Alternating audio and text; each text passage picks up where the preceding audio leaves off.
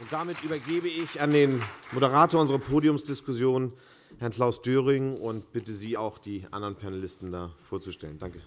Ja, meine sehr geehrten Damen und Herren, auch von meiner Seite ein herzliches Willkommen. Äh, mein Vorname ist leider nicht Dirk. Mit dem schönen Vornamen kann ich nicht aufwarten, um, eine, um auf die Begrüßung von Herrn Bommer für Professor Dirk Schierek anzuspielen. Aber auch bei mir geht es in der nächsten Stunde um die Aktie, genauer gesagt um den Aktienhandel und um die Zukunft des Aktienhandels.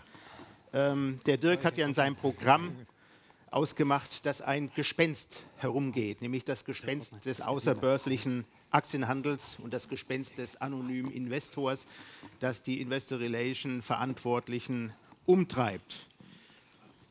Außerbörslicher Handel, manche auch, äh, sprechen auch von Dark Pools, beschäftigen Investor Relations Verantwortliche. Betroffen sind vielleicht im Moment erstmal vor allem die sogenannten Blue Chips, also in Deutschland die DAX-Unternehmen, aber auch zunehmend äh, Unternehmen des MDAX und SDAX sind von diesem Phänomen betroffen. Was bedeutet das? Was wird die Zukunft zum Aktienhandel bringen? Werden diese außerbörslichen Plattformen noch gewinnen oder gibt es vielleicht eine Renaissance und Wiederbelebung des regulierten Marktes? Darüber wollen wir jetzt diskutieren und ich freue mich, äh, dass ich dazu fünf Fachleute mit hier aufs Podium bitten darf, die ich Ihnen jetzt ganz gerne vorstellen möchte. Und ich fange an mit der einzigen Dame in unserem Kreis, nämlich Frau Silke Schlünsen. Frau Schlünsen, herzlich willkommen. Frau Schlünsen ist eine, ja, ein alter Hase, hätte ich jetzt fast gesagt, aber sie ist jedenfalls ein großer Experte mit viel Erfahrung im Markt- und Wertpapierbereich. Äh, sie leitet seit dem Sommer 2009 bei der Close Brothers Seidler Wertpapierhandelsbank den Bereich Designated Sponsoring und das ist, wie Sie wissen, einer der wichtigsten Handelsbereiche dieser Bank. Sie ist aber vorher schon woanders äh, am Kapitalmarkt unterwegs gewesen, insgesamt 14 Jahre bei HSBC Trinkhaus und Burkhardt in Düsseldorf in verschiedenen Bereichen gelernte Börsenhändlerin. Sie hat berufsbegleitend Betriebswirtschaftslehre studiert und, das wird man hier beim Dirk besonders gerne hören, auch den Abschluss als Certified Investor Relations Officer gemacht. Frau Schlünsen sagt, wir und damit meint sie natürlich äh, ihr Wertpapierhandelshaus. Wir sorgen quasi als Handwerker des Aktienmarktes erst dafür, dass Börse funktioniert, indem wir Orderbücher strukturieren und für Liquidität sorgen. Mit anderen Worten, der Markt braucht Pflege und das besorgen wir. Frau Schönsen, kommen Sie mit hoch. Vielen Dank, so. Herr Döring. Kommen Sie am besten mit zu mir, dann machen wir weiter mit dem nächsten Panel-Teilnehmer. Und da darf ich wie sollte es anders sein, in einem solchen Kreis einen Vertreter eines organisierten Marktplatzes begrüßen, nämlich Herrn Michael Krogmann von der Deutschen Börse AG.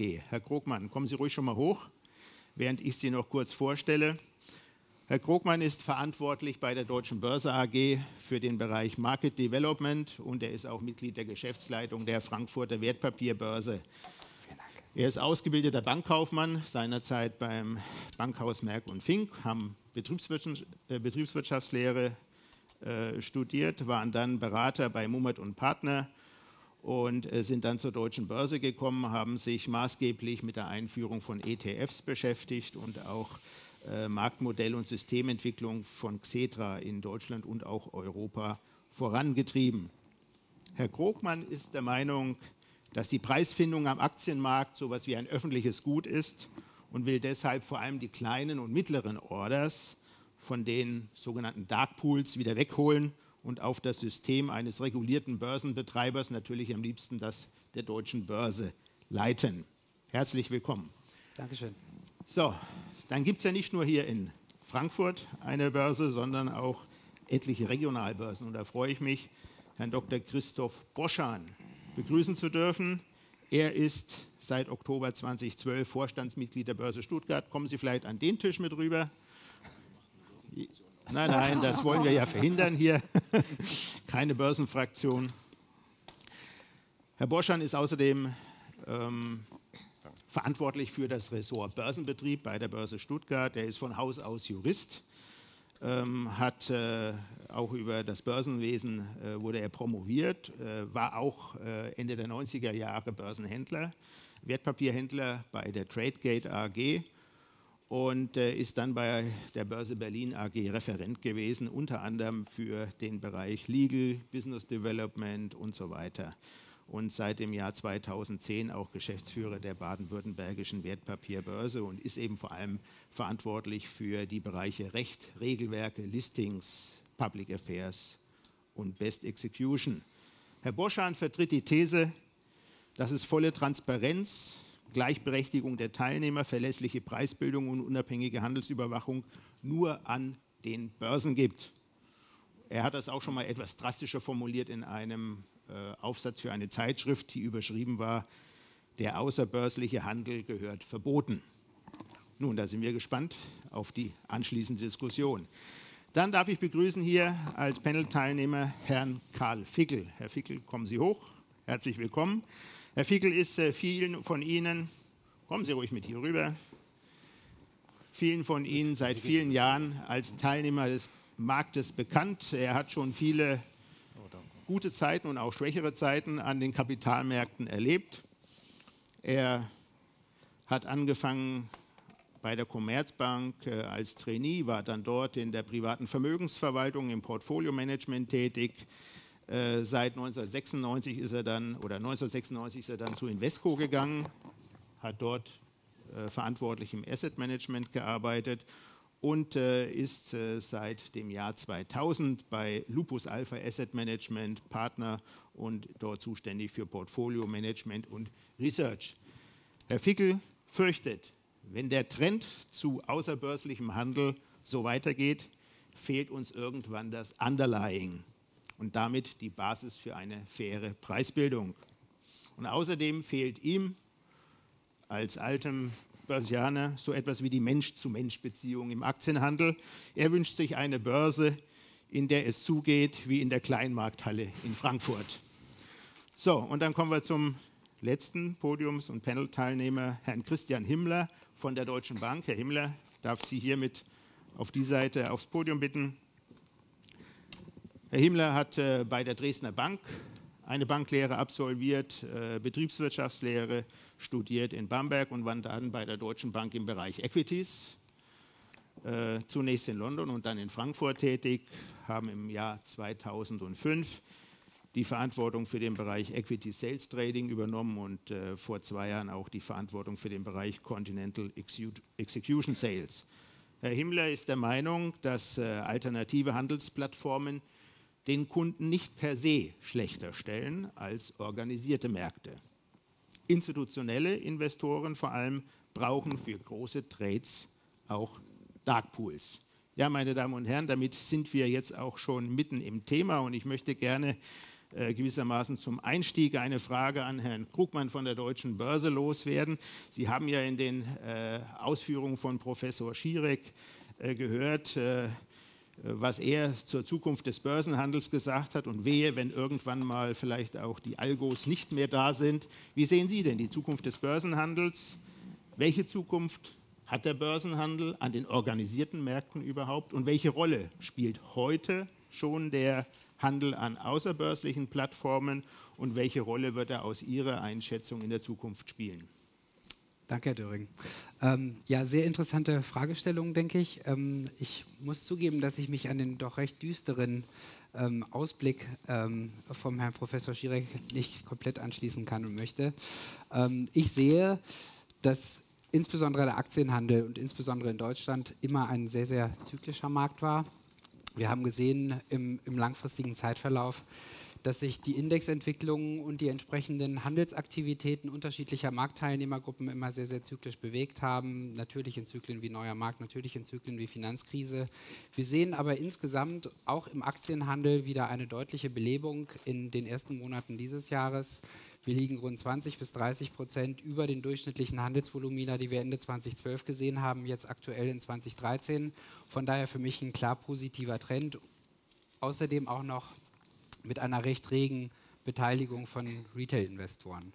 Ähm, um Ihnen vielleicht einen kurzen Überblick zu geben, wie sich seit Einführung der MIFID im Jahr 2007 die Handelsvolumina verteilt haben, weil grundsätzlich war die MIFID ähm, so ausgestaltet, dass man gesagt hat, man möchte einen einheitlichen Kapitalmarkt in Europa schaffen, man möchte auch Konkurrenz für die etablierten Börsen, wie beispielsweise Deutsche Börse oder auch die Börse Stuttgart schaffen. Äh, seitdem haben sich einige alternative Handelsplattformen herausgebildet, sogenannte MTFs. Darüber hinaus noch systematische Internalisierer, die aber insgesamt keine große Rolle spielen. Daneben, neben diesen ganzen regulierten Märkten, gibt es aber noch einen sehr, sehr großen Teil OTC-Trading. OTC-Trading ist der nicht überwachte, nicht regulierte Markt. Und im Gegensatz zu den Erwartungen, die die Regulatoren vor 2007, also vor Einführung der MIFID hatten, findet hier rund 40 Prozent des Umsatzes in liquiden Aktien findet OTC statt. Das heißt fernab von jeder Regulierung, fernab von jeder Transparenz. Und wir sagen, dass diejenigen Transaktionen, die heute im Dunklen, also OTC und nicht im Zugriff von Investoren und von einer breiten Investoren, Privat- und institutioneller Investorenschaft Zugriff ähm, darauf haben, sagen wir, diese Transaktionen müssen auf öffentliche regulierte Marktplätze gehen, um die Transparenz zu fördern und den Preisbildungsprozess zu unterstützen. Ja, klare Forderung und Aussage, Herr Himmler, ähm, wird Ihnen damit das Geschäft abgegraben, um es mal ganz äh, platt zu sagen. Ähm, Herr Bommer hat ja außerdem in seiner Einführungsrede so einen kleinen Seitenhieb Richtung äh, Banken äh, losgelassen. Ich weiß nicht, ob Sie äh, schon da waren und das nee, hören leider könnten. Noch nicht. Äh, er hat den Banken vorgeworfen, äh, sie würden im Prinzip den Aktienhandel vernachlässigen, weil sie ja mit Derivaten und strukturierten Produkten viel besser verdienen würden. Wo sehen Sie die Zukunft des Aktienhandels als Banker und was sagen Sie zur Forderung äh, von Herrn Krogmann, nach Möglichkeit alles wegen der Preistransparenz auf die organisierten Märkte zu leiten? Also sind viele verschiedene Punkte, die wir hier berücksichtigen müssen, glaube ich. Und ähm, es stimmt nicht ganz, dass wir per se sagen, es wird äh, für eine Bank als Marktteilnehmer im Wertpapiergeschäft dann das Geschäft abgegraben, wenn das nur noch an, dem, an den transparenten Litmärkten, äh, wie wir sie nennen, äh, stattfindet. Ähm, Fakt ist, der Herr Krugmann hat es angesprochen, dass seit der MIFID-Einführung die Märkte eine deutliche Fragmentisierung gesehen haben. Und wir mussten darauf auch reagieren. Ähm, Im Grunde genommen hat damit eine große Automatisierung stattgefunden. Ähm, es ist wahrscheinlich mit den zwei großen Themen vorangegangen. Zum einen wollte der Regulierer Preistransparenz schaffen ähm, und auch einen, eine, eine, Kostenstruktur aufbrechen, die in einem monopolisierten Markt wahrscheinlich relativ schwierig ist. Ähm, ich sehe das äh, im Grunde genommen als Hand in Hand für institutionelle Investoren. Ähm, ein institutioneller Investor hat ein großes Interesse daran, mit möglichst wenig Marktimpact seine Order am Markt auszuführen. Wenn die Möglichkeit dafür besteht, dass man OTC, ein, ein, ein Volumen, äh, crossen kann, heißt das nicht gleich, dass da irgendwas Schlimmes passiert, auch wenn ich auch der Meinung bin, dass der Name Darkpool wahrscheinlich schon per se etwas unglücklich gewählt worden ist. Ähm, Fakt ist, dass einem, in einem Darkpool im Grunde genommen der, der Preis in der Mitte des, des aktuellen Börsenspreads stattfindet. Herr Krugmann hat recht, dass natürlich alles Volumen, was nicht über diese klassischen Börsenmärkte stattfindet, ähm, natürlich nicht dazu beiträgt, ähm, die, die Preisfindung auf den äh, öffentlichen Märkten zu erhöhen. Nichtsdestotrotz ist das natürlich aus unserer Sicht, die wir versuchen, den bestmöglichen Preis für unsere Kundschaft zu bekommen, ähm, der Fakt schon gegeben, dass wenn äh, im Grunde genommen mit Preis gekrost wird, ähm, dass für den Käufer und den Verkäufer in, in, äh, in dieser Aktie der bestmögliche Preis stattgefunden ist. Und wir sind von MIFID her dazu verpflichtet, die Best Execution Policy einzuhalten, die wir praktisch mit unseren Kunden ähm, unterschrieben haben. Und wenn dort die Möglichkeit besteht, diese Transaktion stattfinden zu lassen, ähm, ist es natürlich immer etwas besser als am, am gelisteten Börsenmarkt. Kurze Zwischenfrage? Ja, gerne, Frau Schlinzen. Ja, natürlich. ähm, was nützt dem äh, besten und größten Investor, sage ich mal, die Liquidität über die Dark Pools, wenn hinterher genau dieses Wertpapier, in das er doch über die Dark Pools investiert hat, ähm, womöglich nicht mehr indexnotiert ist und das wiederum Bestandteil seiner Vorgaben ist, um in diese Indexwerte, ob jetzt von ganz oben DAX bis hin zum SDAX, ähm, dass er nur in Indexwerte investieren darf, weil da geht unseres Erachtens der Trend hin und dass viele Indexunternehmen gerade davon betroffen sind, ergo auch die deutsche Börse, die natürlich nur für die Berechnung, anders geht es auch nicht, der Indexentscheidung natürlich die regulierten Börsenplätze Xetra und Frankfurt mhm. nutzen. So, und dann sage ich einfach, ähm, dann nützt dem Investor relativ wenig dieser Dark Pool Handel, wenn das Unternehmen irgendwann nicht mehr in dem Index ist, ähm, in dem es mal notiert war. Ja, direkte Frage. Also die, die, die These ist ja, da schießen sich die Investoren, die über Dark Pools handeln, irgendwo selbst ins Knie, weil sie damit ihre Basis unterminieren. Wir sind im Grunde genommen der Intermediär in dieser ganzen Geschichte. Also ich will ja jetzt auch nicht irgendwie an die Wand gestellt werden. Ähm, äh, per se nutzen Investoren jegliche Form der Liquiditätsfindung. Und ähm, wenn der Regulierer im Grunde genommen gesagt hat, wir möchten eine Fragmentisierung des Marktes haben, und das ist ja die klare Aussage leider Gottes gewesen, im, im Grunde genommen, dass eben alternative Handelsplattformen zugelassen worden sind, ähm, müssen wir natürlich als Marktteilnehmer da auch in irgendeiner Form darauf reagieren. Ähm, ich sehe die Probleme, die dadurch entstehen, ganz klar. Ähm, nichtsdestotrotz obliegt es nicht der Deutschen Bank oder den Marktteilnehmern, die Regulierungen zu machen oder die, die Regeln aufrechtzuerhalten. Wir versuchen bestmöglich für unsere Kunden tätig zu werden und, und dementsprechend da auch aktiv zu sein. Stichwort Regulierung, Herr Boschan. Ja, sagen Sie es dem Publikum, was Sie gerade Herrn Fickel schon äh, erzählen wollten. Sie sind der Experte, was Regulierung anbelangt. Gibt es denn, äh, sagen wir mal, aufgrund dieser Entwicklung, die man ja sieht und die bestimmte Gefahren äh, auch für den Aktienhandel ja mit sich bringt, ein gewisses Umdenken in der Regulierung oder geht man auf diesem äh, Weg praktisch auch der äh, Fragmentisierung, äh, Fragmentierung von Liquidität und der weiteren Ausbau, dem weiteren Ausbaus von möglichen Handelsplattformen weiter?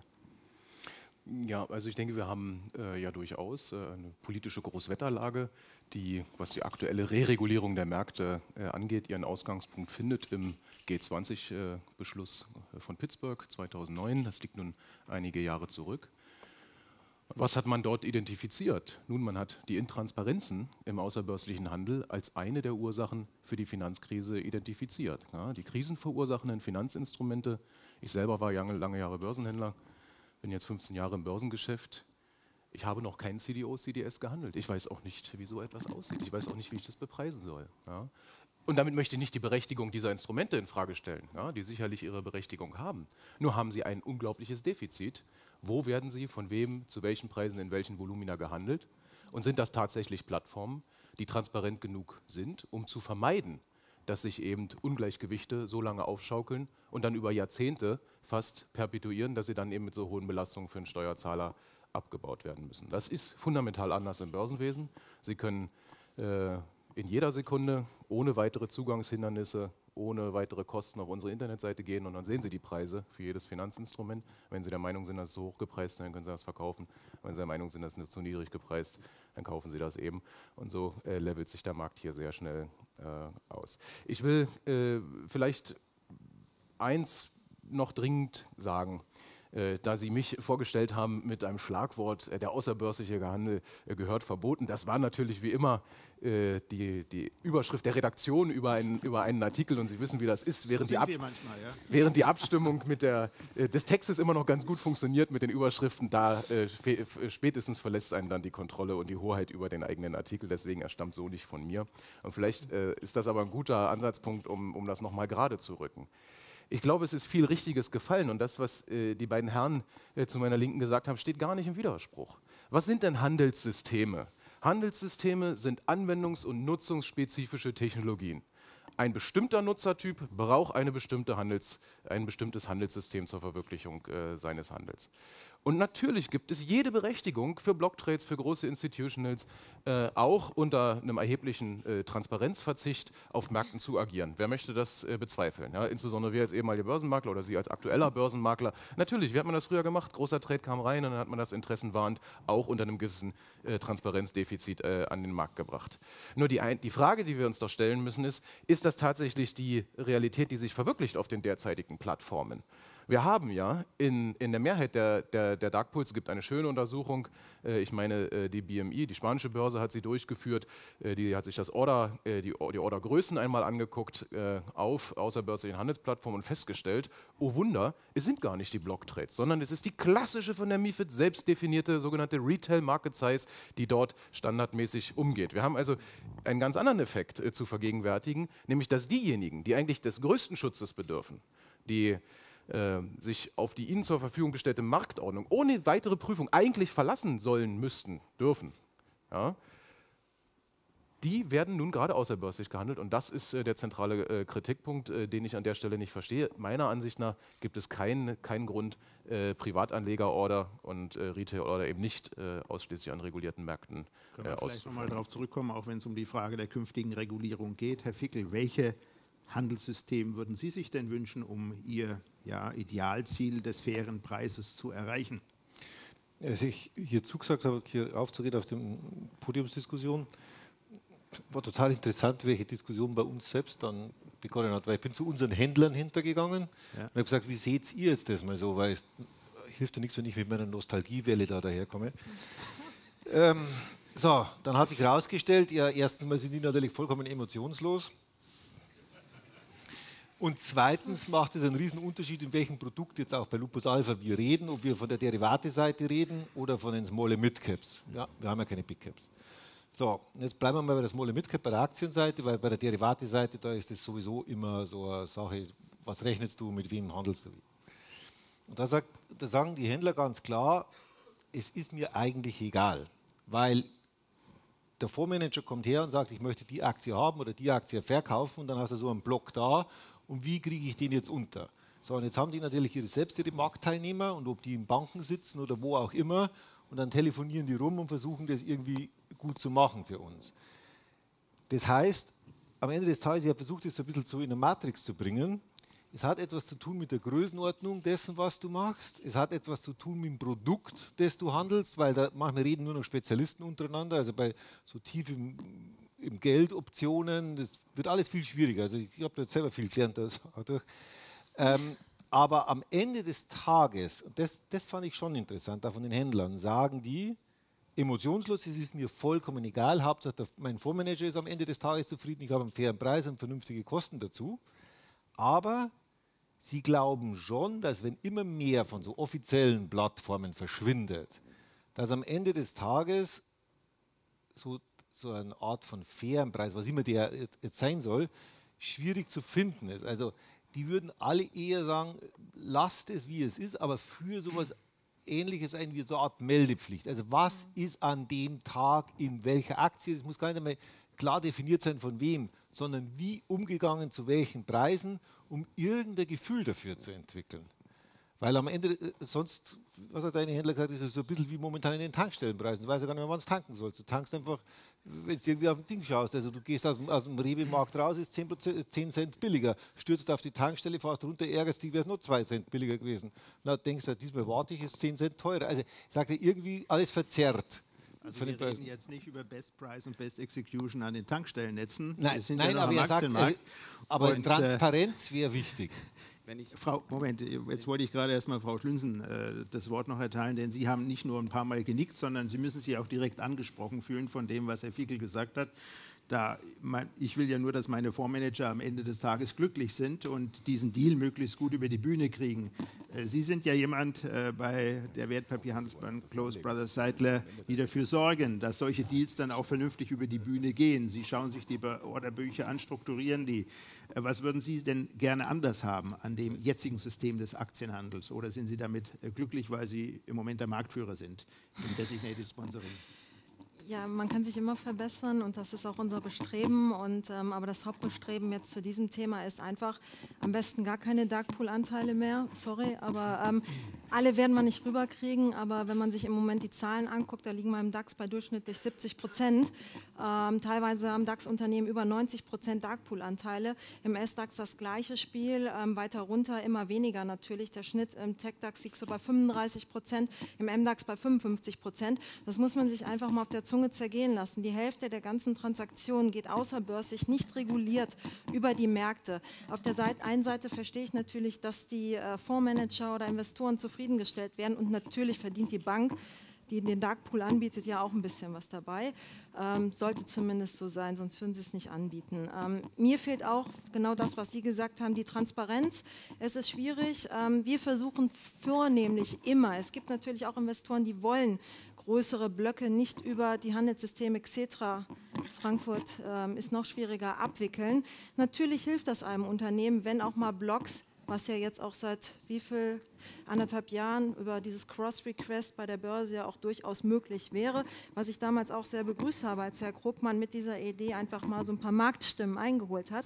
Es wird leider sehr wenig genutzt und vielleicht muss dieses System, was von der Idee ja ganz gut ist, oder die Handelsmöglichkeit, nämlich auch abgesprochene Geschäfte, ähm, was früher ja nicht erlaubt war, über eben diese Plattform Xetra, über den regulierten Markt abzuwickeln. Vielleicht müsste da ein bisschen Feintuning betrieben werden, wenn es geht, in der Form, weil damit es besser genutzt wird. Ja? Weil die Problematik besteht ja darin, dass eben die beiden Marktteilnehmer, die sich vielleicht vorher eben abgesprochen haben, dann doch nicht zu 100 Prozent zum Zuge kommen und noch andere dazwischen fuschen. Das habe ich natürlich nicht. Wenn ich jetzt mit einem von Ihnen ähm, OTC-Geschäft mache, dann sagt der eine von dir, der andere an dich. Wir haben uns über den Preis geeinigt und dann wird das Geschäft außerbörslich abgewickelt. Im Darkpool fließt halt alles in diese Masse rein und wird dementsprechend auch bestmöglichst natürlich für die Kunden ähm, ausgeführt. Es spielen so viele Faktoren eine Rolle. Auch der Free Float ist natürlich eine enorm wichtige Rolle. Wenn ein Unternehmen oder je höher der Free Float bei einem Unternehmen ist, umso eher bietet sich natürlich die Möglichkeit, über die außerbörslichen Handelsplattformen zu gehen, weil ich eben größere größere Stückzahlen on Block handeln kann. Wir versuchen dennoch zum einen Blöcke über Xetra abzuwickeln und dann natürlich die Liquidität. Und wir haben auch sehr viele ähm, Berechnungen gemacht. Und man sieht doch bei vielen Unternehmen, die wir betreuen, dass da eben die Unternehmen unter diesem Durchschnitt von äh, den Darkpool-Anteilen im TechDAX, MDAX, SDAX ähm, doch liegen. Und das freut uns. Das ist viel Arbeit, darum auch, wir verstehen uns als Handwerker. Liquidität zieht Liquidität an und nur mit gut strukturierten Orderbüchern kann halt eben versucht werden, auch die Liquidität zum regulierten Markt zu holen.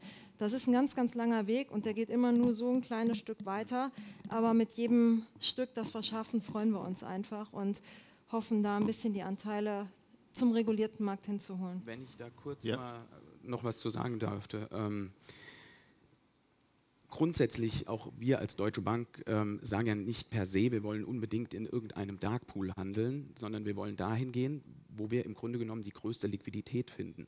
Und das ist das Problem momentan an den offiziellen Märkten. Und je illiquider der Wert in Anführungszeichen oder je kleiner der gelistete Wert ist, desto illiquider ist er häufig momentan an den, den offiziellen Börsenplätzen. Ähm, es bringt mir relativ wenig, wenn ich einen institutionellen Kunden habe, der sagt, ich habe ein super Company-Meeting gehabt und ich hätte gerne eine Aktie XY jetzt gekauft.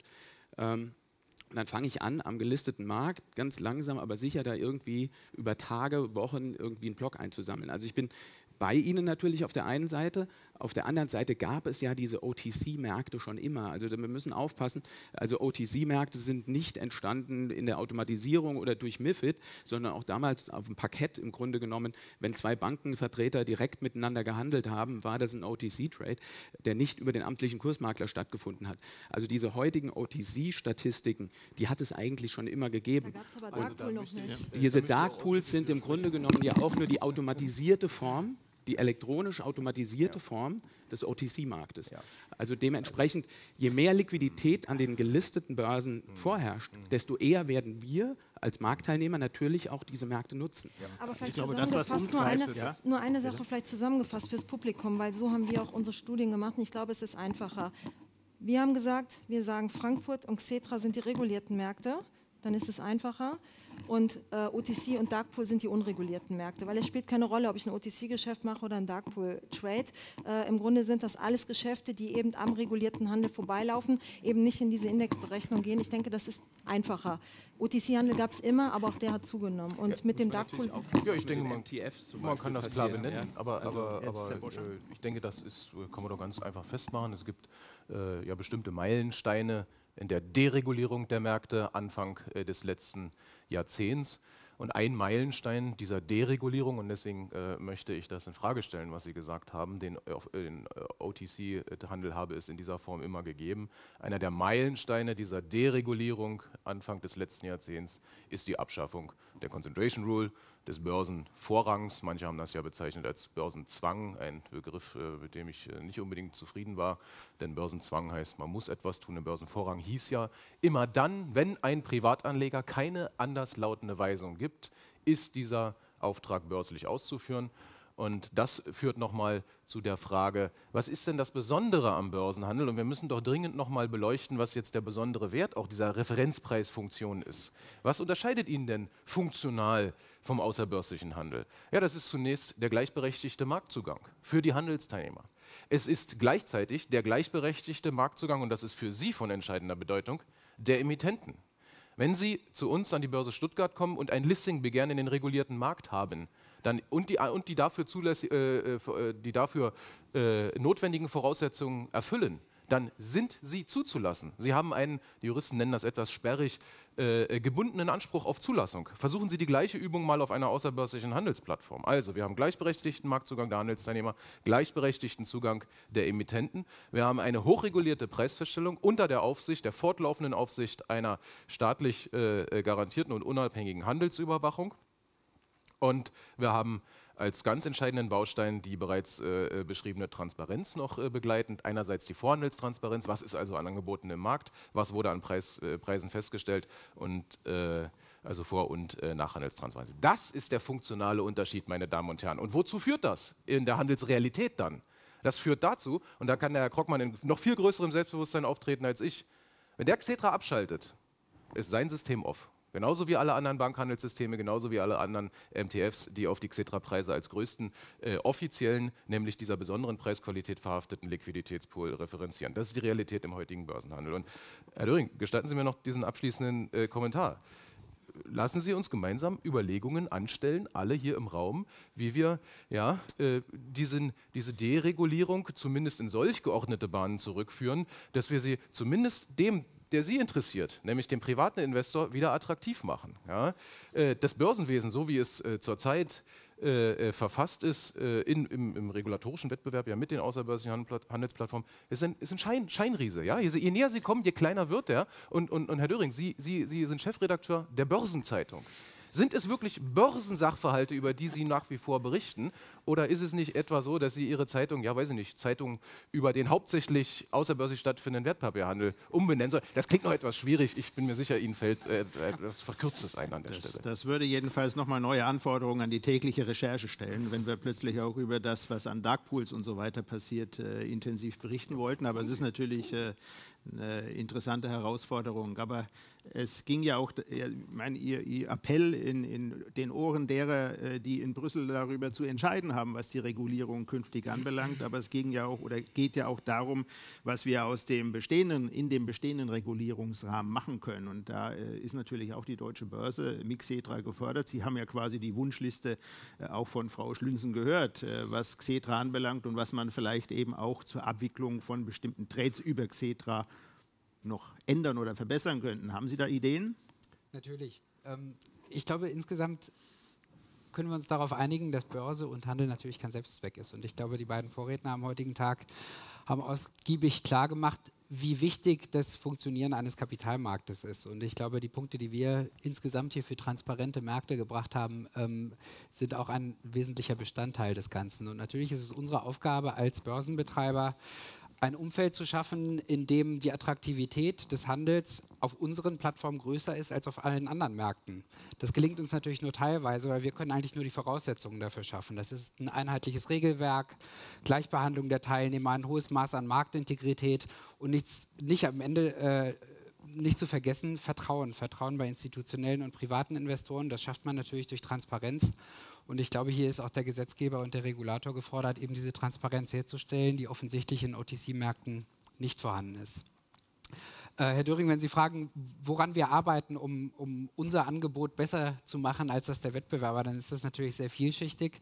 Ich glaube, insbesondere nach der Finanzmarktkrise haben wir uns sehr, sehr stark konzentriert auf alles, was Risikomanagement, Besicherung ähm, angeht. Das heißt, wir haben unsere Services insbesondere im CCP, im zentralen Kontrahenten verbessert. Das heißt, jeder Handelsteilnehmer bei uns kann darauf vertrauen, dass das Geld entsprechend bei ihm ankommt, wenn er eine Aktie verkauft hat oder dass die Aktie entsprechend bei ihm ankommt und das Ganze mit sehr, sehr transparenten, nachvollziehbaren und wirklich sicheren Prozessen und ähm, Regelwerken. Insbesondere ähm, zur Verbesserung der Handelsqualität im Xetra-Orderbuch haben wir unterschiedliche Maßnahmen eingeführt. Eine sogenannte Top-Order, die die Handelsteilnehmer incentiviert, wenn sie den äh, Bid-Ask-Spread, also den Unterschied zwischen An- und Verkaufskurs im Orderbuch verringern, zum Wohle aller Marktteilnehmer. Dadurch steigt die Marktqualität. Wir haben den sogenannten Cross-Request eingeführt, den die Silke Stünsen erwähnt hat. Hier kann ich mich Ihrer Aufforderung nur anschließen. Wir sind nur diejenigen, die so etwas bauen können und ausgestalten können und gemeinsam mit unseren Marktteilnehmern entwickeln können. Genutzt werden muss es am Ende von den Investoren, die zu ihren Bank ähm, Ansprechpartnern gehen und sagen, dann versucht doch mal diese Order über einen Cross-Request, über den transparenten Handel abzubilden und am Ende noch dann in einem CCP-besicherten Umfeld zu landen. Das ist Aufgabe auch der IR-Manager. Also teilweise werden wir auch gefragt, äh, wie machen wir das unseren Investoren klar? Sie sind an den Investoren dran, Sie wollen beide Parteien auch zusammenbringen äh, mit dem Bankpartner, immer wieder ansprechen, versucht es über die regulierten Märkte abzuwickeln. Die Kosten sind was teurer, ja, aber dann kommt die Thematik wieder hinzu, die ich gerade auch schon besprochen habe. Es wird im September, sage ich immer so schön, knallen. Es knallt jetzt schon beim Verkettungstermin und es werden durch, bedingt durch die ganzen IPOs ähm, viele Schwergewichte in den MDAX reinkommen, die dann sukzessive aktuell bestehende MDAX, sehr gute, attraktive Unternehmen, dann eben aufgrund dieser Problematik rausknallen lassen müssen, weil eben äh, teilweise der Turnover-Rang dann oder sie sich wegen des Turnover-Ranges auch mit auf den letzten immer noch sicheren Plätzen eigentlich bewegen, aber wenn vier bessere reinkommen, fallen vier raus. Und ähm, ich denke, das Anliegen eines jeden äh, Emittenten sollte sein, man ist an der Börse gelistet und sollte auch das Anliegen eines jeden Emittenten sein, die Umsätze über die Börse laufen zu lassen. Das ist mein Wunsch und immer wieder ansprechen und Werbung für den Börsenplatz Xetra machen möchte gerne ein, ein Auch Frankfurt, ja, und die anderen regulierten Börsen. Aber Stuttgart, Entschuldigung, nimmt die Börse nicht mit in die Berechnung rein. 75 Prozent des Corporate-Markts ja. äh, in Deutschland. Ja. Da mische ich mich jetzt nicht zwischen beiden Börsen ein. Das, das Cetra und Frankfurt in dem Falle die Indexthematik bezogen ähm, die wichtigere. Herr Boschan hat sehr lange ruhig gehalten, als Sie vorhin schon praktisch den regulierten Börsenhandel auf äh, Xetra und Frankfurt äh, verkürzt haben. Also äh, besten Dank für das Verständnis. Wir haben natürlich alle auch an Stuttgart gedacht. Ich möchte ganz gerne einen Aspekt, einen Aspekt noch aufgreifen, den Professor Schierig in seiner Rede genannt hatte, nämlich das Shareholder Screening. Er hatte gesagt, das ist vielleicht auch mit Blick auf die Zukunft nicht ganz unwichtig, dass man sich auch darüber Gedanken macht. Ein Emittent sollte nicht nur gucken, wie geht es seinen Zulieferern, sondern er muss eben vielleicht auch mal schauen, wer sind meine Shareholder und wie geht es denen. Äh, da sehe ich natürlich gewisse Probleme, äh, was äh, den Aktienhandel anbelangt und die Möglichkeiten zu einem Shareholder-Screening. Was können Sie denn, Herr Himmler, sagen wir mal, unter diesem Aspekt vielleicht auch als Dienstleistung für Ihre Emittenten anbieten? Im Grunde genommen müssen wir als Marktteilnehmer ganz klar, ich, ich will nicht wieder darauf zurückkommen, aber sagen, ähm, die Liquidität ist das große Problem momentan an den, an den Märkten. Und natürlich beißt sich da so ein bisschen die Katze in den Schwanz. Je mehr an diesen nicht offiziellen Börsenmärkten an Volumen gehandelt wird, desto schwieriger wird es, da auch die Liquidität wieder hin zurückzubringen. Ähm, für, aus Shareholder-Sicht, das, was ich jetzt als Intermediär so mitbekomme, sehen wir natürlich ganz klar bei, bei Ihren gelisteten Unternehmen, ähm, und der Professor hat es ja angesprochen, ein, ein, ein Shift in der Aktionärsstruktur. Nicht nur national, international, sondern eben auch, und ich will es nicht nur als staatliche Unternehmen oder so bezeichnen, ähm, aber auch dieser Trend von, der, von diesen aktiven Investoren hin zu eher passivierten äh, Investoren, sprich ähm, dieser ganze Bereich ETF und passivierte ähm, Indexprodukte, die immer mehr an, an, Volumen gewinnen, verändern natürlich auch die Aktionärstruktur. Und ich bin relativ sicher, dass bei den meisten Unternehmen, die hier auch vertreten sind, wahrscheinlich so eine Firma wie BlackRock als mit ihrer iShares-Familie äh, eine der größten Aktionärs, äh, Aktionäre darstellt. Das ist für uns natürlich auch äh, eine Veränderung des Marktes. Wir mögen natürlich Umsatz, wir mögen Transparenz, wir mögen Liquidität und wollen natürlich äh, da bestmöglich dran teilnehmen. Aber ähm, diese Passivierung ist natürlich ein ganz großes Thema auch, auch für Sie und, und Ihre Unternehmen. Und dementsprechend können wir als Intermediär da natürlich ein bisschen hilfreich beiseite stehen und, und da beratend tätig sein. Äh, aber das ist natürlich die große Aufgabe, da eine Antwort drauf zu finden, weil wie diese Fragmentierung im Markt gestartet worden ist, ist natürlich der Regulierer auch davon ausgegangen, dass das Volumen zumindest Anfang des Jahrtausends äh, zumindest so weitergeht. Jetzt sehen wir ganz klare Trends, dass die Volumen im Handel der, der Aktien deutlich nach unten gegangen ist, hat sich jetzt richtigerweise aufgefangen so ein bisschen durch auch die positive Tendenz. Ähm, Aber per se ist das natürlich äh, ein, ein, großes Thema. Ich kann Ihnen keine abschließende Antwort darauf geben, aber das muss man natürlich, äh, jeder von uns muss das mit im Auge behalten, dass sich die Aktionärsstruktur ändert und wie man da am bestmöglich darauf reagiert. Das ist schwer jetzt schnell zu beantworten. Es ist auch ein Prozess, der in vielen kleinen Schritten gehen muss. Ähm, und äh, das ist im Grunde genommen Stand der Dinge. Mhm. Herr Boschan. Also ich äh, kann mich da Herrn äh, Krugmann äh, nur anschließen. Äh, wir befinden uns ja nicht äh, in einem Wettbewerb, äh, wer beeinflusst den Regulierer jetzt am heftigsten in, in, seinem Sinne, sondern in der Tat, wir befinden uns in einem Technologiewettbewerb.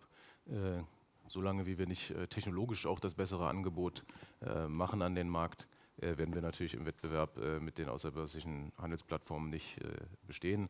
Herr Krugmann hat einige Beispiele äh, gemacht, äh, einige Innovationen aus dem Börsenwesen äh, genannt.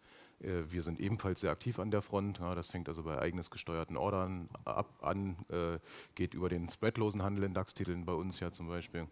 Äh, oder auch, das begreife ich durchaus als Innovation, eine gewisse Zurückhaltung, was die Zulassung von Hochfrequenzhandel bei uns im Markt angeht, weil wir sagen, die Liquidität bei uns am Platz die soll eben nicht der spezialisierten Elite der Hochfrequenzhändler, sondern dem Privatanleger äh, zur Verfügung stehen. Ähm, perspektivisch äh, bin ich fest davon überzeugt, dass wir äh, große Veränderungen im Börsenhandel sehen werden. Ich sehe eher ein Zukunftsbild, das äh, geprägt sein wird. Und das ist, glaube ich, etwas, äh, was ganz im Sinne der hier Anwesenden ist. Ein, ein Bild, was geprägt sein wird von eher ja, Plain Vanilla Buy and Hold, also einfache Strukturen, relativ niederfrequent gehandelt, also mit mittelfristigen und langfristigen Anlagehorizonten. Das wird den äh, Kapitalmarkt äh, stabilisieren, das wird äh, ihre Bedürfnisse äh, befriedigen. Ich glaube, es wird am langen Ende auch mehr Rendite für die Anleger bringen. Äh, aber was heißt das äh, für uns als Börsen? ich glaube, die Börsen, oder ich mache mir jedenfalls um die Zukunft der Börsen, speziell natürlich um meine Börse, keine Sorgen, weil ich glaube, das ist durchaus durchaus ein Trend, äh, der uns zugutekommt, denn er spricht uns in unserer Kernkompetenz an, ja, als redlich neutraler Sachwalter zwischen den Emittenten und den Investoren zu stellen, List, bestimmte Listing-Services äh, zu bieten, zusätzliche Angebote, äh, Transparenzangebote vor allen Dingen dem Markt zur Verfügung zu stellen und er wird eher zulasten des außerbörslichen Handels laufen, dieser Trend. Herr Fickel, ist das äh, eine Perspektive, die Sie erfreut, äh, die so ein bisschen in Ihre Richtung geht, so wie der Kleinmarkthalle? Ja, wissen Sie, man muss sich ja fragen, warum sind denn diese außerbörslichen Dinge alle so groß geworden? Die müssen ja irgendeinen Vorteil haben. Wir sind in einem kapitalistischen System und nicht in irgendeinem vollkommen ja, verordnete Mufti-System. Warum sind die so? Also die müssen ja irgendwelche Vorteile haben. Das ist wie heute mit dem Internethandel auf, auf den Gütermärkten. So. Jetzt da haben Sie es ganz richtig angesprochen und Sie haben gesagt, es ist ein Wettbewerb der Technologie, man muss sehen, wo das hingeht. Also insofern, da bin ich auch relativ illusionsfrei und sage, der, wo am Ende des Tages das beste Angebot macht, wie immer das dann definiert ist, Transparenz, ähm, Preisfindung, Kosten, Schnelligkeit, Dauer und so weiter und so fort, der wird am Ende des Tages das Rennen machen. Was ich, wofür ich plädieren würde, ist, es ist am Ende des Tages egal, aber es sollte gewisse Transparenz da sein, also gerade auch für die Firmen, weil ich sehe es ja bei uns selbst, plötzlich stellt die Firma fest, wir rufen an und sagen, ja, wir sind jetzt größere Aktionär und hin und her, wie kann er gar nicht sein, so viel geht er von unseren Aktien gar nicht um. Ähm, ja, um zu sagen, wo, wo sind die? Und da Transparenz herzustellen, das muss jetzt nicht gleich in Überregulierung ausarten, aber das, das sollte möglich sein und das würde wahrscheinlich den Leuten auch helfen, das würde wahrscheinlich allen helfen.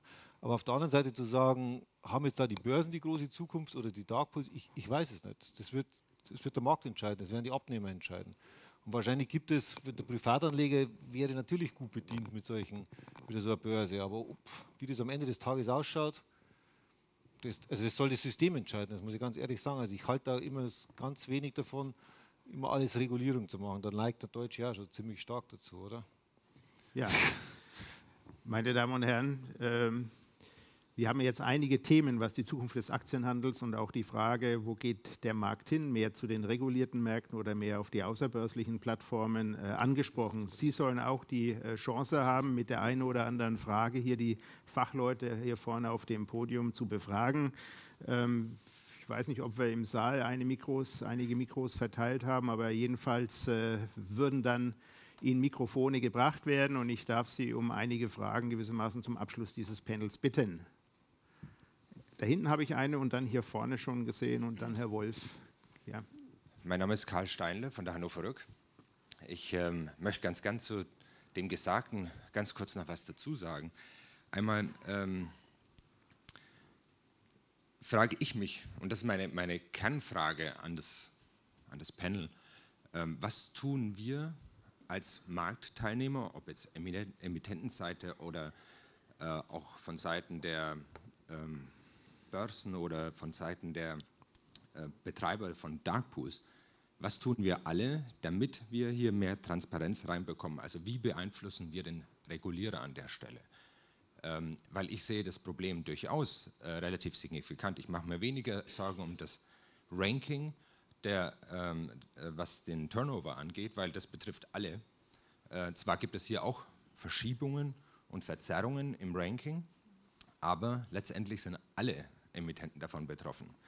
Äh, und insofern ist das nicht mein, mein Kernpunkt. Der Kernpunkt ist eigentlich von meiner Seite, also von Emittentenseite aus, dass wir die Sorge haben, dass irgendwann die Preisfindung nicht mehr die ist, äh, also die an den regulierten Märkten getroffen wird, die ist, die tatsächlich die wahre Preisfindung ist, weil in den Dark Pools einfach schon zu viel passiert und wir keine, keinen Einblick haben in den Dark mhm. Pool.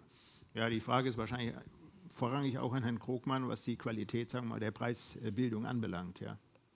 Vielen Dank für diese Wortmeldung. Ich unterschreibe die sofort. Also genau das ist unsere Sorge, die Sie geäußert haben, nämlich, dass wir bei Aktien eine ähnliche Marktstruktur bekommen, wie wir sie heute in den Bondmärkten haben, wo 99 Prozent des Volumens gehandelt wird zwischen einigen wenigen großen Marktteilnehmern. Übrigens funktionieren diese Märkte mit so einer Marktstruktur mit einigen wenigen ähm, überhaupt nicht in Krisenzeiten. Was wir gesehen haben, ist in der Finanzkrise, die Equity-Märkte haben wunderbar funktioniert an den regulierten Märkten. Sie konnten zu jeder Zeit eine Siemens-Aktie nach zusammengebrochen. Deshalb ist es sehr, sehr wichtig, dass hier weiterhin der Hund mit dem Schwanz wackelt und nicht umgekehrt, weil ich glaube, so ein Preisfindungsprozess für die Bewertung für Portfolios für einfach die Allokation von Kapital ist es super wichtig, dass wir weiterhin einen Referenzmarktstatus haben. Sie haben konkret danach gefragt, was unsere Aktivitäten sind. Ich kann Ihnen versichern, dass wir sowohl in Berlin als auch vornehmlich in Brüssel, an beiden Standorten haben wir äh, Repräsentanzen, sehr, sehr viel Lobbying-Aktivitäten dazu leisten, dass weiterhin ein börslicher, transparenter, hochwertiger Preisfindungsprozess in Europa bestehen bleibt. Da gibt es sehr, sehr viele Marktteilnehmer, die eine andere Meinung haben, weil sie auch an der einen oder anderen Stelle sehr, sehr viel Geld damit verdienen, dass eben Orders nicht zur Börse kommen und eben diese qualitativ hochwertige Preisfindung zu sehr, sehr engen Spreads nicht mehr stattfindet, weil sie nämlich genau daran Geld verdienen, wenn die Spreads auseinandergehen. Da sind wir dagegen. Wir wollen, dass diese öffentlichen Märkte, die von, für alle Marktteilnehmer gleichberechtigt äh, zugänglich sind, weiter gestärkt werden. Ähm, wir beauftragen Studien, unter anderem auch mit Professor Gomba hier aus Frankfurt. Ähm, wir sind sehr, sehr aktiv in den Lobbying-Aktivitäten, äh, sind aber auch immer sehr, sehr dankbar darüber, wenn Marktteilnehmer, die nicht Börse sind und nicht Handelsteilnehmer sind, nämlich Emittenten wie Sie, auch uns hier unterstützen. Von daher, vielleicht können wir, wenn Ihnen das recht ist, direkt nach dem Podium unsere Karten austauschen, dass wir dann vielleicht gemeinsam auch hier äh, einen Versuch unternehmen können, den Regulatoren auf diesem Weg zu begleiten. Also auch die Emittenten sind gefragt und natürlich wahrscheinlich auch der Dirk als Verband. Ja. Ist ja für Sie auch ein zentrales Thema. Sehr gern. Soweit die Frage beantwortet? Ja, wenn, ich, wenn, ich, dazu noch ganz kurz was sagen darf. Ähm, es geht mir, also die, die ähm, Deregulierung, die wir gesehen haben und die Einführung MIFID war ja im Grundsatz ja das Richtige. Mhm. Ähm, weil wir wollen ja natürlich, ähm, dass, die, dass die Transaktionskosten, und das haben auch für uns als Emittenten ist es natürlich wichtig, dass die Transaktionskosten an den Börsen sinken. Mhm. Nur nicht äh, auf Kosten der Transparenz. Ähm, und das, denke ich, ist der Strickfehler gewesen. Okay, Petitum angekommen. Die nächste Wortmeldung, ein paar Reihen weiter vor war das, glaube ich. Ja, genau. Ich, hier vorne, heben Sie mal den Arm, damit die Dame mit dem Mikrofon kommt. Ja, guten Morgen, Wilhelm Breuer, mein Name. Ich möchte an das äh, anknüpfen, was der Kollege eigentlich schon auch schon ausgeführt hat und äh, auch bemängeln die Zusammensetzung äh, der Diskussionsgruppe hier. Sie alle sind Finanzintermediäre und leben davon, dass Emittenten an die Börse gehen. Kein einziger Emittent ist hier auf dem Podium zu finden. Das finde ich, also muss ich sagen, sehr interessant. Und das zeigt damit, sehr viele Institutionen, Finanzintermediäre verdienen Geld mit dem Börsenhandel und ich betone Börsenhandel. Äh, und wir haben heute schon und auch gestern in Gesprächen hier schon so oft uns darüber gefreut, dass es endlich wieder Börsengänge gibt und nicht Gänge an Dark Pools. Von daher müssten wir eigentlich alle Interesse haben, dass den Emittenten schmackhaft gemacht wird, an die Börse zu gehen. Und die zweite Bemerkung ist ähm, das Thema Transparenz. Sie alle hier und insbesondere auch natürlich die Banker, da darf ich die Deutsche Bank erwähnen, erwarten von Emittenten, nicht nur bei Börsengängen, Transparenz. Und hier wird im Prinzip sehr viel Geld damit verdient, in unterschiedlichen Konstellationen und Interessen, dass eben Transparenz unterbunden wird. Und das kann keine gesunde Entwicklung sein. Und da muss sich ganz dringend was ändern. Natürlich haben Emittenten Interesse daran, dass der Handel über die Börsen geht und möglichst hohe Transparenz auch für sie besteht und nicht nur Einbahnstraße Transparenz in den Markt hinein. Vielen Dank. Vielen Dank für die Wortmeldung, auch äh, was den Hinweis auf, auf Emittentenvertreter anbelangt. Ich nehme mal an, der Dirk hat etwas Rücksicht nehmen wollen äh, auf Sie heute Morgen, weil Sie gestern Abend eine äh, Feier hatten, wo es äh, ein bisschen später wird und wollte jetzt zu früher Stunde keinen hier aufs Podium schicken. Aber wir werden das bestimmt in der nächsten Jahreskonferenz berücksichtigen. Möchte dazu noch jemand was sagen hier? Oder es war mehr ein Statement als eine direkte Frage? Herr Wolf, Sie hatten sich auch gemeldet.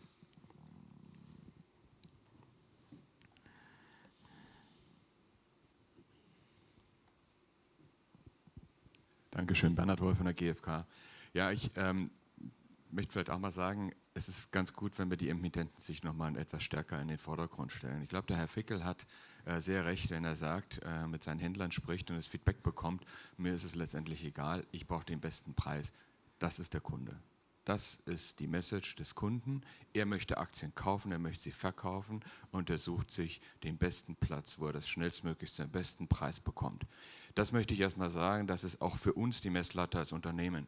Wir sind in der Lage, wir sind in der Situation, dass wir Investoren haben, die praktisch über die Börse überhaupt nicht mehr rauskommen aus ihren Werten. Wir haben Fidelity mit ungefähr 10% drin. Wenn ich das hochrechne auf den Börsenumsatz, sie brauchen mehr als 100 Börsentage, illusorisch. Äh, wenn Frau Schlinsen sagt, wir sollen an der Stelle auch etwas aktiver werden und vielleicht auch Werbung machen für die Börse, mir geht es ehrlich gesagt andersrum. Bei mir rufen Investoren an, die rein oder raus wollen und fragen, äh, ob ich eine Idee habe, wen ich hier zusammenbringen kann. Das ist aber gar nicht meine Aufgabe als IR-Manager. Ich sehe meine Aufgabe hier, das Unternehmen zu vertreten und nicht in irgendeiner Weise aktiv zu werden, Handelsplattformen zu erklären oder irgendwas zu promoten. Wie wir an die Börse gegangen sind, Herr Krogmann, haben wir ein Prospekt ausgefüllt. Wir haben einen Vertrag, wir bezahlen Sie dafür, dass Sie eine Handelsplattform äh, zur Verfügung stellen, wo wir davon ausgegangen sind, hier findet der Handel statt, hier gibt es einen Referenzpreis. Wir sehen immer stärker und wir sind auch davon betroffen, mehr als 50 Prozent sind im OTC, in Dark Pools, in alternativen Handelsplattformen. Wir haben hier nicht mehr die Visualität, wir wissen nicht, wer handelt an der Stelle und doch erfüllen wir eigentlich die Pflichten die wir mit Ihnen einmal eingegangen sind. Ich glaube, wir müssen an der Stelle einmal darüber reden, inwieweit Handel effizienter wird und nicht auf Kunden und Marktteilnehmer zu schauen. Äh, ich muss sagen, ich kann es völlig nachvollziehen, wenn sich heute ein Fondsmanager den besten Marktplatz sucht. Das möchte ich auch gar nicht kommentieren an der Stelle. Ich verliere den Einblick das finde ich nicht gut. An der Stelle muss ich sagen, ist eine gute Idee, wenn wir uns darüber unterhalten, dass wir an der Stelle vielleicht eine Art Reporting bekommen oder zumindest börsentäglich was bekommen. Aber der, der grundsätzlich, grundsätzliche Manko ist doch, dass die Börse mit ihren Plattformen heute nicht mehr die Referenzkurse stellen kann, äh, die dahinter stehen, äh, maximaler Umsatz. Und da muss ich an der Stelle fragen, was haben Sie beide Kollegen von den, äh, von den Börsen denn vor, um das abzustellen? Ja, die Frage war sehr deutlich und also, direkt an Sie und an Herrn Buschan. Ich bin auch gern bereit, darauf zu antworten. Hm? Also, Wollen Sie anfangen? Vielleicht ja, mache ich eine kleine Ouvertüre, äh, die nochmal äh, erinnert äh, an die Historie der Deregulierung. Wo kommen wir her? Ja, wir haben völlig richtig vorhin beschrieben, diese großen und völlig berechtigten, ja, weil durch Investoreninteressen äh, gerechtfertigten außerbörslichen Handel schon immer gehabt. Und wir haben seit 15 Jahren das Phänomen, dass wir neben den regulierten Märkten elektronische Handelsplattformen haben, die funktional nichts anderes machen als die regulierten Märkte. Es sind zum Teil sogar die gleichen äh, technischen äh, Unterbau, die da, die da am Werkeln sind. Ja, es ist das gleiche System, das einmal als äh, börsliches und einmal als außerbörsliches äh, System funktioniert. Und wenn Sie ähm, ja doch auf eine sehr nachdrückliche Art äh, fragen, was tut ihr Börsen denn im Wettbewerb, um mich als Kunden zu befriedigen? Und ich verstehe Sie eigentlich noch ein bisschen schärfer, jetzt jammert doch nicht so rum, tut doch etwas, ja, um eure Kunden zufriedenzustellen und ihr bekommt die Umsätze wieder zurück. Dann äh, möchte ich an der Stelle zurückgeben, dass wir dazu außerordentlich gern bereit sind, dass das aber natürlich dann in einem Wettbewerbsumfeld am besten funktioniert, wo alle mit dem gleichen regulatorischen Gepäck unterwegs sind. Und das ist die Realität, meine Damen und Herren. Wir haben in der Europäischen Union 150 miteinander konkurrierende technische Handelsplattformen, die mehr oder weniger alle das Gleiche anbieten, nämlich Investor A mit Investor B zu ersetzen. Von diesen 150 Plattformen sind nur noch 50, die Minderheit, regulierte Märkte mit dem erheblichen Unterschied zwischen diesen zwei Welten, regulierte Märkte und außerbörsliche Märkte, dass Herr Krugmann und ich Märkte betreiben müssen, an denen aufwendige Listingprozeduren vorgehalten werden, an denen wir eine Handelsüberwachung äh, bezahlen und äh, staffen und technisch ausstatten müssen, an denen wir uns an bestimmte Handelsabläufe halten. Das ist uns regulatorisch vorgegeben. Das ist ein Korsett, aus dem wir nicht entweichen können und im Übrigen auch nicht entweichen wollen. Was ich damit sagen will, wir befinden uns in der Konkurrenz mit Märkten, die im Übrigen auch noch parasitäres Geschäft auf unseren Dienstleistungen machen, denn wenn er nicht listet oder ich nicht liste, gibt es keinen Handel im außerbörslichen Handel. Wenn es bei mir keine Preisfindung äh, stattfindet oder bei ihm oder keine Handelsüberwachung, gibt es keine Preisfindung im außerbörslichen Bereich. Was wir also haben, ist eine Situation, eine, eine sehr, sehr unfaire Konkurrenzsituation, äh, wo sie einen Teil der Systeme mit erheblichen Kosten belastet haben und Konkurrenzsysteme haben, die von diesen Dienstleistungen profitieren und mit weit weniger regulatorischem Gepäck unterwegs sind. Deswegen geht der Aufruf äh, an Sie als Emittenten zurück für Wettbewerbs- und Chancengleichheit äh, im äh, Wertpapierhandel zu sorgen und äh, äh reihen Sie sich da ruhig äh, in, in, in, die Reihe der, der Börsen, die dann nach dem regulierten Handel äh, fragen, an. Das soll alles nicht Wettbewerb verhindern. Nicht, dass ich falsch verstanden werde an der Stelle. Nochmal, 50 von den 150 Plattformen sind regulierte Märkte. Die stehen nach wie vor im Wettbewerb. Ja? Und Sie können sicher sein, der Herr Krockmann und ich, wir streiten uns gerne über Orderflow. Ja? Gut. Herr Krugmann dazu noch? Ich glaube, der Christoph Boschan hat viele Punkte gebracht, die ich auch hätte sagen sollen, wollen. Ähm, Wettbewerb ist gut. Auch MIFID hat dafür gesorgt, dass wir besser geworden sind. Unsere Preise sind runtergekommen. Wir stehen im Wettbewerb in Technologie. Wir stehen im Wettbewerb um Liquidität. Wo wir nicht gerne im Wettbewerb stehen, ist um Regulierung. Und das ist genau der Punkt, den der Christoph Boschan genannt hat. Wenn wir Same Business, Same Rules haben mit den OTC-Plattformen, sind wir gerne bereit, in den Wettbewerb einzusteigen. Das Problem ist nur, wenn Sie als Investor die Möglichkeit haben, eine Transaktion völlig im Dunkeln durchzuführen und keinem anderen Marktteilnehmer zeigen zu müssen, dass Sie eine große Position in einer wenig liquiden Aktie verkaufen wollen. Oder Sie zeigen diese Position an öffentlichen Märkten. Ja, Entschuldigung, wo gehe ich denn dahin? Natürlich da, wo ich es nicht zeige. Und solange der Regulator die Investoren nicht dazu zwingt, an diesen Marktplatz zu gehen, haben wir überhaupt keine Chance, dieses Volumen zurückzugewinnen. Da haben wir überhaupt keine Chance, weil dieser Dark Pool Markt nichts anderes macht, als sich unsere Preise, die sehr, sehr qualitativ hochwertig sind, weil überwacht, weil transparent, der holt die sich einfach rein aus unserem offenen Orderbuch und führt hier die Orders aus, die vorher Pre-Trade komplett intransparent sind. Das heißt, ich schließe hier aus, dass ich überhaupt irgendeine Interaktion mit Marktteilnehmern habe, weil ich zu einem automatischen Referenzpreis gematcht werde. Also solange wir diese Situation haben, können wir nicht viel machen, außer zu sehen, dass wir die Preisqualität und die Volumina bei uns steigern. Und da stehen wir im Wettbewerb unter anderem mit der Börse Stuttgart, aber auch mit allen MTFs, wie beispielsweise Chi-X, die das gleiche Marktmodell haben wie wir. Das ist guter Wettbewerb. Schlechter Wettbewerb ist der, wo wir einfach unterschiedliche Sportarten betreiben. Ja, meine Damen und eine ja? Aussage auch von hm? mir, weil Herr Wolf mich ja auch angesprochen hatte. Natürlich ist es nicht Ihre Aufgabe als Emittent oder Investor Relations Manager, hier ähm, die Parteien zusammenzubringen, aber oftmals bekommen Sie eine Seite genannt wenden sich dann, denke ich mal, auf jeden Fall an einen Bankpartner von Ihnen. Und bei uns ist es so, wenn die Anfrage kommt, dann habe ich die Möglichkeit, ein OTC-Geschäft zu machen. Ich habe die Möglichkeit, eine Overnight-Position aufs Buch zu nehmen. Ich kann die Aktien dann, wenn ich sie Overnight Long bin, äh, marktschonend in den Markt geben. So platzieren wir jeden Tag Blöcke marktschonend. Mir ist wichtig über Xetra. Und wenn Sie mit der einen Partei sprechen, dann könnte man ja hin und wieder einfach mal das Wort Xetra in den Mund nehmen, börslicher Handel. Ähm, inwiefern Sie das sehen, dass Sie der Börse einen Gefallen tun. Also Sie als Emittent, denke ich mal, haben ein Anliegen daran, die Umsätze am regulierten Markt zu steigern, weil die eben äh, nachvollziehbar sind, weil die eben für die Indexberechnung und so weiter wichtig sind. Das war mein Anliegen, weil ja auch aus dem Publikum waren, was können wir gemeinsam tun. Das ist natürlich nur eine kleine Spitze, aber ich habe viele Beispiele, die ich wirklich auch nach, also aufzeigen kann, wo man sieht, wenn Orderbücher strukturiert werden, wenn man versucht, diese Möglichkeit zu nutzen, auch mal Blöcke über Xetra zu handeln, dass eben diese Unternehmen, und da haben wir Ungleichgewichte ähm, innerhalb des DAX, MDAX, TechDAX, SDAX, ähm, dass man eben versucht, die Darkpool-Anteile sukzessive, und das geht nicht von heute auf morgen, ähm, aber weg von den Darkpools hin zu den regulierten Märkten zu holen. Und so kann jeder ein kleines bisschen was dazu beitragen. Ich glaube, die die, die wichtigsten Personen sind halt die Regulatoren und die Börsen und da muss Einigkeit bestehen. Und das, was Herr Krugmann gerade gesagt hat, unterschreibe ich auch. Ansonsten ist es nicht fair und dann wird immer ein Ungleichgewicht bestehen, auf jeden Fall. Vielen Dank, Frau Schlünsen. Das war ja schon ein recht versöhnliches Wort gewissermaßen zum Abschluss unserer äh, heutigen Podiumsdiskussion. Ich glaube, sie hat gezeigt, äh, was auch ein Marktplatz leisten soll. Er soll unterschiedliche Ansichten, äh, Positionen, in dem Fall Emittenten, Investoren und äh, Börsenbetreiber zusammenbringen und äh, auch die Kommunikation fördern. Ich hoffe, das haben wir auch für Sie heute hier auf dem Podium leisten können. Ich darf mich äh, ganz herzlich bedanken bei allen Teilnehmern dieses Panels und auch bei Ihnen äh, für Ihre Aufmerksamkeit und auch für die äh, guten Fragen. Mich hat diese Diskussion manchmal etwas an eine andere Branche erinnert äh, wo es auch gewissermaßen um Referenzpreise und äh, dann andere Märkte geht, äh, nämlich im äh, Einzelhandel für Elektronikprodukte. Äh, alle gehen zum Mediamarkt, gucken da den Referenzpreis an und kaufen dann im Internet für ein paar Euro billiger.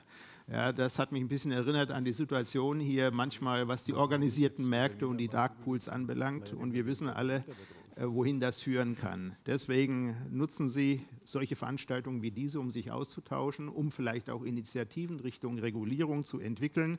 Ich darf mich bei Ihnen ganz herzlich bedanken und wünsche Ihnen noch einen interessanten Tag hier auf der Jahreskonferenz des Dirk. Und als Chefredakteur der Börsenzeitung nehme ich natürlich die Anregung gerne mit, auch vielleicht über OTC-Märkte und Darkpools zu berichten, sofern uns das möglich ist. Aber ich glaube, wir haben auch sonst genug interessante Inhalte in der Zeitung, dass sich die Lektüre der Börsenzeitung jeden Morgen lohnt. Vielen Dank. Dankeschön.